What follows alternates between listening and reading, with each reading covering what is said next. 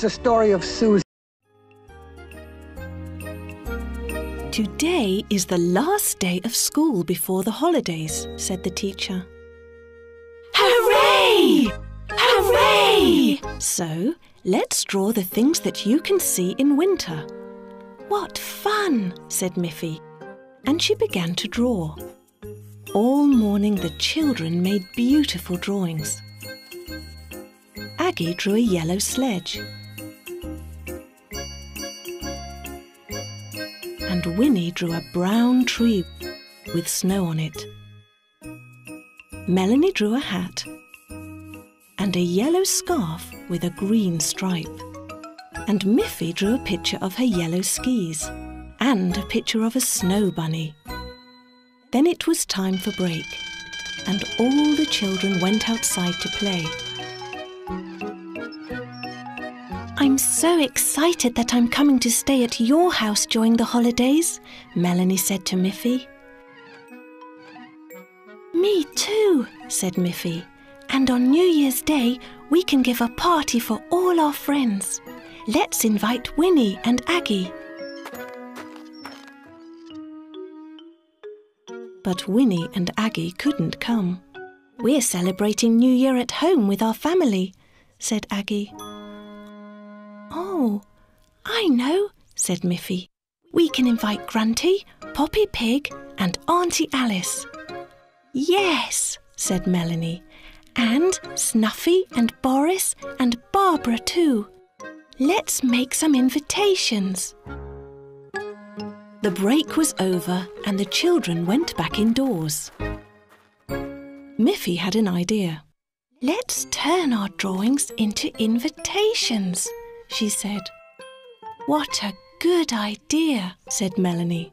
So, on the back of their drawings, they glued on some stars and stamped a big number one for the first day of the new year. Next, they decorated four different envelopes. One for Poppy Pig and Grunty, one for Boris and Barbara, one for Auntie Alice, and one for Snuffy. Finally, they blew up four differently coloured balloons.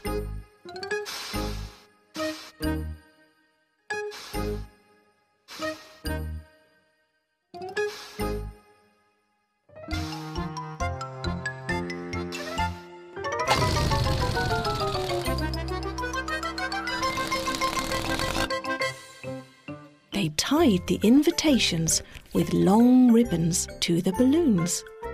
At the end of the day, the teachers said goodbye and wished them a happy holiday. I'm sure your friends will love those invitations, she said. My father can help us deliver the invitations in his car, said Miffy. As they scooted along, the wind blew the balloons this way and that. So the girls held on tightly to the ribbons. Suddenly, Melanie hit a bump. She let go of her balloons and fell to the ground. Oh no, cried Miffy, and she let go of her balloons too. Are you all right? she asked as she helped Melanie to get up. I'm okay, said Melanie, but our invitations are gone. I know, said Miffy. The wind has blown them away, but I'm glad you're not hurt. Four bright balloons fly like a kite, red and yellow, green and white. First the white one floats away, three balloons are left to stay. White like a cloud, high in the sky, where will this balloon fly? So the king and queen held a big party to celebrate, and they all lived happily ever after. What a beautiful story, said Grunty. Yes, wasn't it? And now it's bedtime.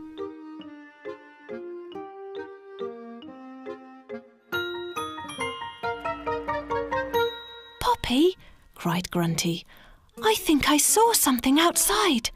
It was round and white. Can I go out and have a look? No, Grunty, said Poppy. It's too cold, and you are wearing only your pyjamas, so I'll go instead.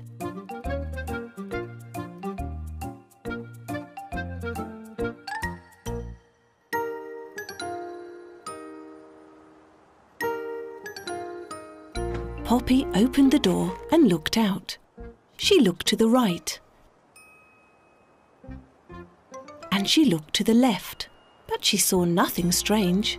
So she walked to the side of the house, and she looked again, and then on the other side, but there was nothing there either. There's nothing outside, Grunty, so now we really must go to bed. Grunty was disappointed. She was sure that she had seen something. Good night, Grunty. Sleep well, said Poppy. Good night, Poppy, said Grunty and they both fell asleep. Outside, the wind started blowing harder. The balloons zigzagged across the window.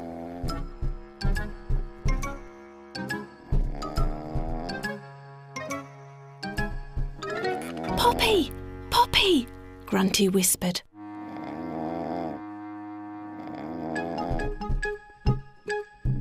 Wake up! There is something outside. Poppy woke up and saw a shadow move across the room. Wait here, Grunty, while I get a broom, whispered Poppy. With the broom in her hand, Poppy crept slowly up to the window. Carefully, she opened it and jabbed the broom outside.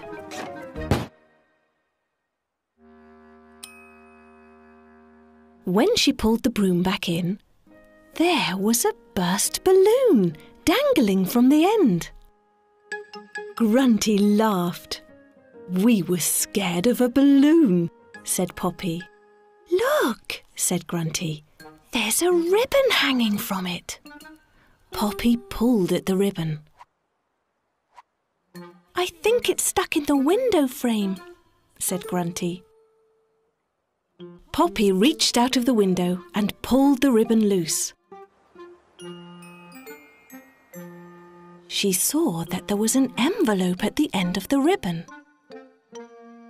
There's a picture of Boris and Barbara on the front. How exciting, said Grunty. May I open it? Of course you may, said Poppy. Grunty opened the envelope and saw the beautiful drawing inside. I think Boris and Barbara are inviting us to a New Year's party, said Poppy. Really? said Grunty. How wonderful! Yes, said Poppy. But first we'd better get some sleep. Good night, Grunty. Good night, Poppy. And they dreamt about the party, but the only thing was they thought the party would be at Boris and Barbara's house.